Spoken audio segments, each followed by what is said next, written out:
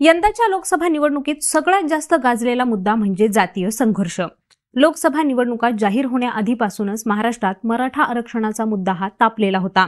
मराठा आरक्षणासाठी जालन्यातील अंतरवाली सराटी इथं मनोज जरांगे पाटील यांनी मोठं आंदोलन सुरू केलं. हे आंदोलन एवढं गाजलं की अख्ख्या देशभरात याची दखल घेण्यात आली. यावर तोडगा म्हणून मुख्यमंत्र्यांनी मराठा समाजाला दहा टक्के आरक्षण हे विशेष अधिवेशन घेऊन देऊ केलं. मात्र यावरही काही अंतिम निर्णय झाला नाही. आता यातच लोकसभेच्या सुद्धा निवडणुका देशभरात पार पडल्यात. आणि या मराठा आरक्षणाचा फटका हा महाराष्ट्रातील अनेक मतदारसंघांमध्ये सुद्धा दिसून आलाय. तर राज्यातील अठ्ठेचाळीस पैकी तब्बल सव्वीस खासदार हे मराठा समाजाचे निवडून आलेत.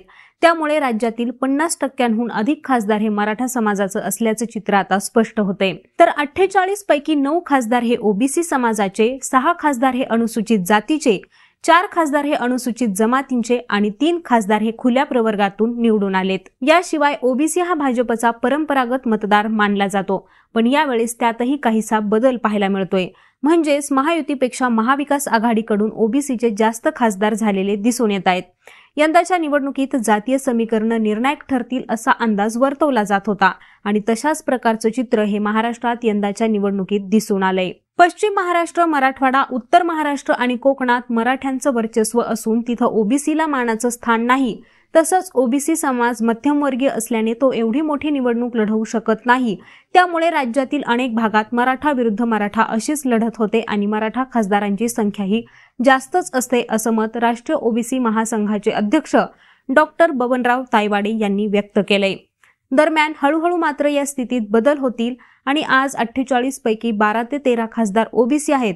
मात्र यामध्ये काही जण ओबीसी असून सुद्धा ते राजकारणापायी स्वतःला ओबीसी म्हणत नाहीत आणि जनतेसमोर मराठा म्हणूनच जातात असंही मत तायवाडे यांनी व्यक्त केलंय. आता पाहूयात महाराष्ट्रात निवडून आलेले मराठा समाजाचे खासदार कोणकोणते आहेत ते. नंबर एक शाहू महाराज छत्रपती. नंबर दोन उदयनराजे भोसले. तीन नंबरला बजरंग सोनवणे. चार नंबर ओमप्रकाश राजे निंबाळकर. पाच नंबर स्मिता वाघ त्यानंतर डॉक्टर शोभा बच्छाव नारायण राणे श्रीकांत शिंदे नरेश म्हस्के विशाल पाटील सुप्रिया सुळे मुरलीधर मोहोळ श्रीरंग बारणे धैर्यशील मोहिते धैर्यशील माने संजय देशमुख अरविंद सावंत प्रतापराव जाधव राजाभाऊ वाजे निलेश लंके डॉक्टर कल्याण काळे संदीपान भुमरे वसंत चव्हाण नागेश अष्टीकर संजय जाधव आणि अनुप धोत्रे. तर असे सव्वीस खासदार हे मराठा समाजाचे निवडून आलेले आहेत.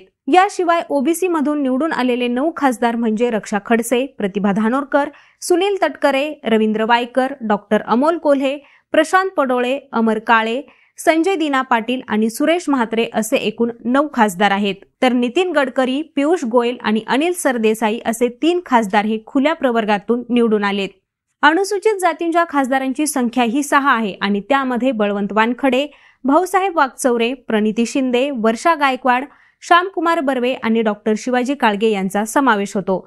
तर अनुसूचित जमातींच्या खासदारांमध्ये भास्कर भगरे हेमंत सावरा डॉक्टर नामदेव किरसान आणि गोवाल पाडवी यांचा समावेश होतो. आता महत्त्वाचा मुद्दा म्हणजे सव्वीस मराठा खासदारांपैकी महाविकास आघाडीचे एकूण चौदा खासदार निवडून आलेले आहेत आणि ही टक्केवारी चोपन्न टक्के आहे.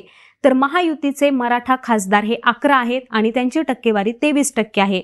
तर ओबीसी समाजाच्या खासदारांची टक्केवारी ही एकोणीस आहे आणि त्यात महायुतीचे तीन तर महाविकास आघाडीचे सहा खासदार निवडून आलेत.